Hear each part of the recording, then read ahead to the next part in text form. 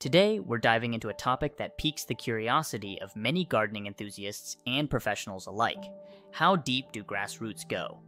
This question may seem simple at first glance, but the answer is fascinating and reveals a lot about the health and resilience of your lawn. Let's start with the basics.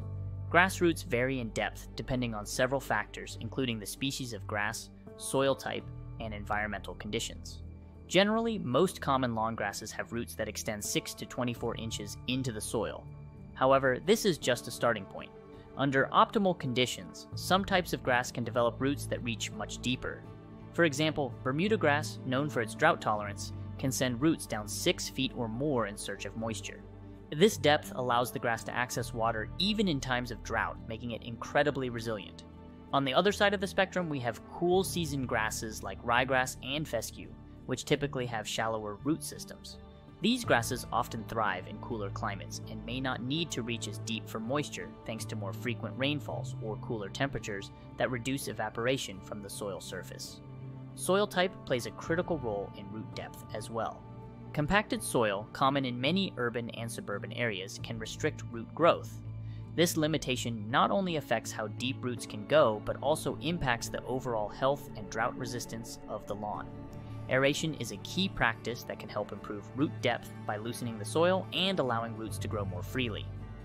Environmental conditions such as rainfall, temperature, and even the way you mow and water your lawn can influence root depth. Regular, deep watering encourages roots to grow deeper as they seek moisture below the surface. Conversely, frequent shallow watering keeps roots near the surface, making the grass more susceptible to drought stress. The depth of grass roots is a crucial indicator of the health of your lawn.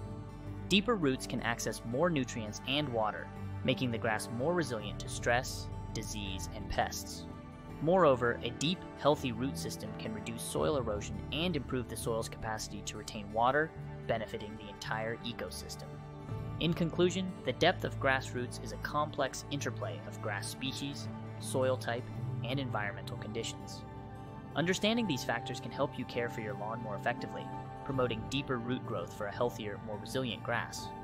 Whether you're a seasoned gardener or a beginner, knowing how deep your grass roots can go offers valuable insights into the world beneath your lawn. Thank you for watching. Remember, the beauty of a lush, green lawn starts below the surface. By appreciating the complexity of root systems and taking steps to promote healthy root growth, you can enjoy a more vibrant and resilient garden. Happy gardening!